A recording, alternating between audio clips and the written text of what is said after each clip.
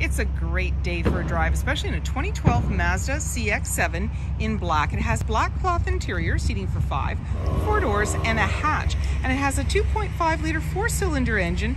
It's paired with an automatic transmission and it's a front wheel drive. It has as well air conditioning, satellite radio, and it's really easy to get into this vehicle and take it out on a test drive. You can book that online at islandford.ca. Stay tuned, we're going to have a look under the hood and inside and out. This is a 2.5 liter four cylinder engine. It's paired with an automatic transmission and it's a front wheel drive. Let's have a look inside. Speaker in the door as well as power locks, windows and mirrors.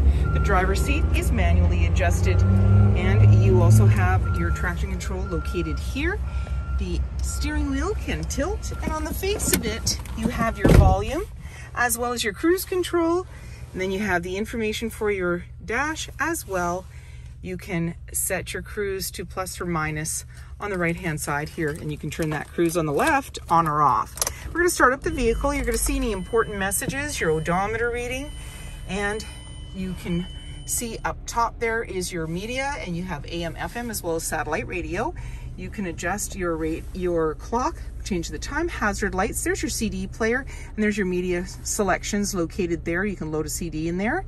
As well, you have your volume and tuner. And then down below is your max AC. As well, you've got your front defrost and your fan. And then you have your front uh, warming area there and the AC, the regular AC is right there little bit of a cubby there as well. You've got a 12 volt automatic shifter and a couple of cup holders. Your armrest opens up and you've got a little bin in here. You can take this out and then you've got another bin in there as well in the back that you can put items.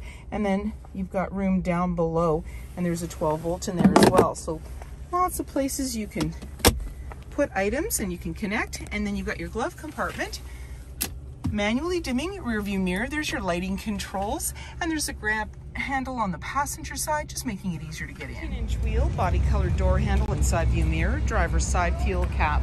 In the back you have your windshield wiper and very easily you have the ability to release that hatch just underneath the Mazda logo.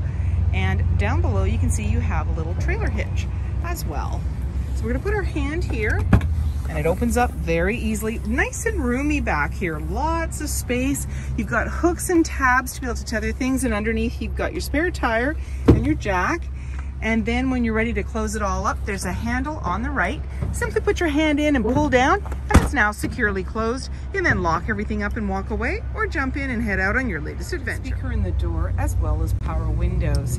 There's seating for three in the back with a 60-40 split and you simply bring the seat down by pushing the button at the back here and you now have access to the back cargo area.